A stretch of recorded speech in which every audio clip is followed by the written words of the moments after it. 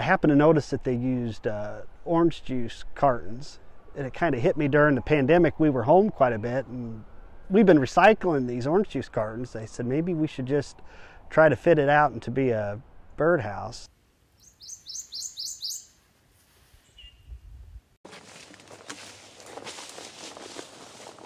And I just saw this flash of gold, and I realized what it was, and it kind of hit me that this just isn't a bird from the southern swamps or the cypress forest in Louisiana or Mississippi, that it's fairly close to home here in the Midwest.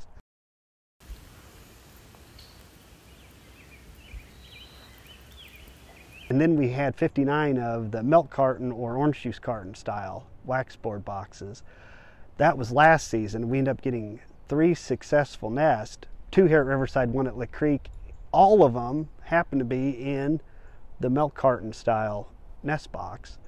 So then this year we have currently 273 carton style nest boxes put up in various spaces here and similar to this setting here in central Illinois, all the way from Allerton Park to Beaver Dam in uh, Carlinville, Illinois, and all these spots in between.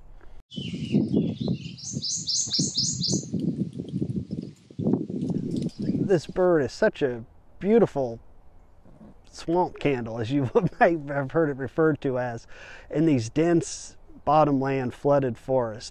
When you just see that burst of gold, you just have can't help but smile and look at it and reverence. It's a, just a true river warbler, and if there's anything we can do just to promote recycling and get kids involved and adults alike, any nature lovers, this is something we can do to give back.